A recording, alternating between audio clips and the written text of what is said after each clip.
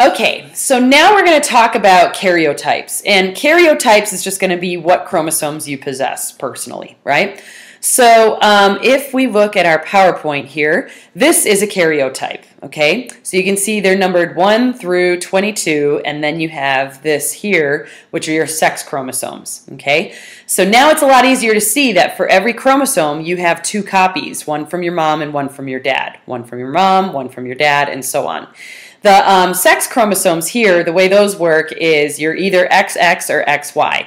And the way that that works is if we are going to go back to this whole idea about the sperm and the egg, let me just clear this picture. Um, every egg, okay, so this is an egg, is going to be X. The sperm can either be X or Y. So it just depends which one gets there. If it's XX when they get there, that's going to be female. And if it's XY, that's going to be male. Okay, so that's how sex determination is going to happen. Okay, let's get back to your notes though and talk about haploid and diploid number. Okay, Haploid is going to be in us 23 chromosomes, so one set of chromosomes. Diploid number is going to be 46 chromosomes for us, which is twice the number of chromosomes. So you could say an egg and a sperm have a haploid number, but when they come together and form a zygote, that's the diploid number, right? So you have two haploid gametes coming together to form a diploid zygote.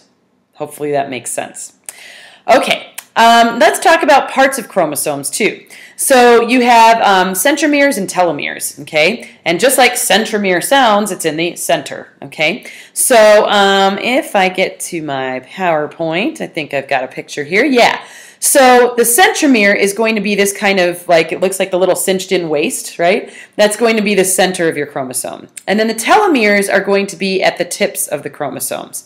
And as you age, the telomeres get shorter and shorter. Okay, so that's going to be how that works. All right. Then we have chromatids. So what's going to happen is you're going to have, and I think that picture was actually showing it pretty well, Okay, so this is going to be like, let's say, your mom's version of chromosome number one. What's going to happen is DNA is going to copy itself, right? When it copies itself, now chromosome number one has an exact copy of itself. These are now called sister chromatids, okay? You could also have chromosome number one from your father, like over here, and then that's going to make a copy and those two are going to be called sister chromatids. Okay, so sister chromatids are going to be held together by this little disc of protein called the centromere. Okay, so that's how you can kind of talk about these different parts. Alrighty, that's going to be important when we start talking about how these things are going to move around. So the cell cycle, if this is going to be like the life of a cell, is going to be composed of five stages. And I think it also helps to see a picture for this one. So you've got, here's where the cell splits. So now you've got your new cell. G1, which is going to just be growth. So the cell's getting its nutrition, it's getting a little bit bigger, you know, it's developing its organelles. Then it's going to go through the S phase, and S stands for synthesis of DNA, which is where it's going to copy the DNA. After that, it's going to go to G2, which is another growth phase, where it can copy organelles and things like that. Then it's going to go to the M phase, which is mitosis, and then the C phase, which is cytokinesis, which is where the cell actually splits.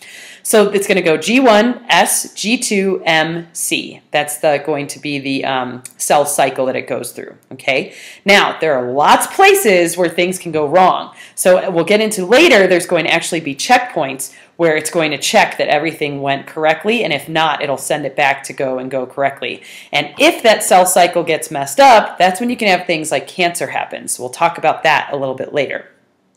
All right, so here's your cell cycle. I've listed everything that's going to be happening there. Now, as far as how long the cell cycle lasts, um, it depends. You could have a couple of minutes to forever. Um, you've got some cells that don't like to regenerate, like nerve cells and brain, cells. well, brain cells they're doing new studies on, but nerve cells. And so what they're finding is those don't like to regenerate, so they just kind of pause after G1 and they go into like a resting state that's called G naught, and it just kind of stays there. So um, all sorts of different ways that things can work.